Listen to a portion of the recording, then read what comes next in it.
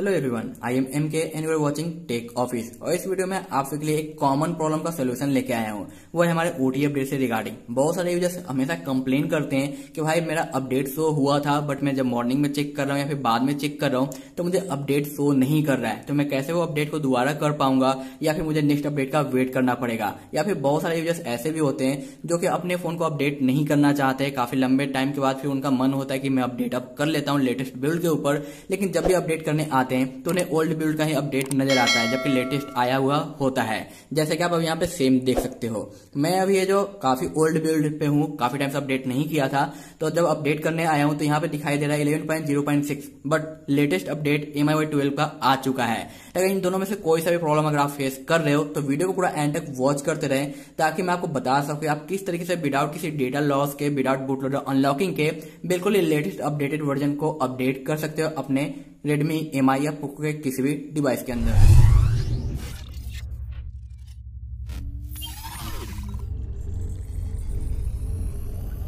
सबसे पहले आपको अपनी सेटिंग को ओपन करना है अबाउट के पेज पे जाना है और अपने अपडेट को चेक करना है कि कौन सा अपडेट शो हो रहा है। अगर आप लेटेस्ट वाले बिल्ड पे हो रहा मिस कर चुके हो, जो नया अपडेट आया है, वो आपको दिखाई नहीं दे रहा है तो आपको ज़्यादा कुछ नहीं करने की ज़रूरत है।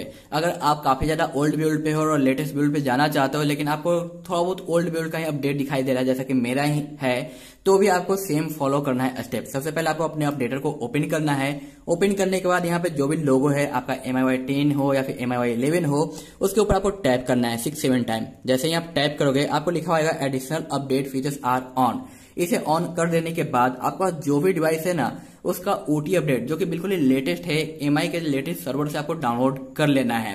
कहीं और से डाउनलोड नहीं करना है लेटेस्ट सर्वर से, क्योंकि आप अदर थर्ड पार्टी वे से डाउनलोड करते हो तो शायद वो काम नहीं करेगा। तो सबसे लेटेस्ट डाउनलोड करके आपको इंटरनल में रख लेना है। जैसा कि मैंने अभी फ़िलहाल है जो रख रखा है। तो मेरे पास है रेडमी का के ट्वेंटी प्रो इसलिए मैं के ट्वेंटी प्रो का ही फ़ाइल डाउनलोड कर रखा हूँ। आपके पास कोई अदर है तो आप उसका फ़ाइल डाउनलोड कर लेना। आप देख सकते हो यहाँ पे लेटेस्ट है एम आई ट्वेल्व का twelve point zero point one तो डाउनलोड करने के बाद आपको फिर से अपने अपडेटर पे आना है, इस ट्रिपल लाइन पे क्लिक करना है और यहाँ पे कई सारे ऑप्शन दिखाई देंगे, जिसमें से एक कॉमन ऑप्शन होगा चूज़ अपडेट पैकेज जो कि हर एक डिवाइस के अंदर आपको नज़र आएगा। इस पर सिलेक्ट कर लेना है और जो भी फ़ाइल आपने डाउनलोड करके रखा है, उसे सिलेक्ट करना है और ओके पे क्लिक कर देना है। आपको वाईफाई या फिर इंटरनेट कनेक्शन ऑन रखना है आपके फ़ोन के अंदर, ताकि ये सर्वर से रीड कर सके कि आप जो फ़ाइल यूज़ कर रहे हो, वो लेटेस्ट है या नहीं, या फिर अवेलेबल है या फिर नहीं, क्योंकि ओल्ड होगा तो काम नहीं करेगा। बिल्कुल ही लेटेस्ट है जो यहाँ पे काम करेगा। अब आप यहाँ पे देख सकते हो कि आ गया। Your device will be reboot automatic to update to let me Y version जो कि यहाँ पे कोडल कोड नेम और बाकी मॉडल नेम वगैरह शो कर रहा है, जो भी है बिल्ड नंबर वगैरह, ठीक है? तब ऐसे शो करेगा, आपको रिबूट पे टैप कर देना है। रिबूट पे टैप करने के बाद ये फ़ाइल को डिकोड करेगा डिक्रिप्टिंग करेगा और डिक्रिप्ट करने के बाद आपका फ़ोन है जो ऑटो रिबूट हो जाएगा। और रिबूट होने के बाद आपका फ़ोन करीब टेन सेकेंड या फिफ्टीन सेकेंड तक का प्रोसेस कंप्लीट करेगा अपडेट पैकेज का। उसके बीच में आपको फ़ोन को ऑन नहीं करना है, ना ही कुछ करना है। और आपकी बैटरी जो थर्टी परसेंट से अपर होनी चाहिए अदरवाइज़ ये काम नहीं करेगा। तो यहाँ पे आप देख सकते हो तो ये ऑफ़ हो चुका है और अपडेट का जो अपडेट का शेड्यूल है या सेशन है, जो भी आपको लुक दिखाई दे रहा है, वो शुरू हो जाएगा। तो आपको थोड़ा सा यहाँ पे आप देख सकते हैं कि मेरा फ़ोन ऑन हो चुका है। करीब करीब यहाँ पे टेन मिनट का टाइम लगा है। और ऑन करने के बाद जो भी लेटेस्ट बिल्ड है, उसका आपको लोगो वगैरह शो करेगा। उसका आपको सेटअप कंप्लीट करना होगा। अगर आप वन प्लेटफॉर्म से सेकंड प्लेटफॉर्म पर स्विच कर रहे हो तो कुछ इस तरह का आपको दिखाई देगा।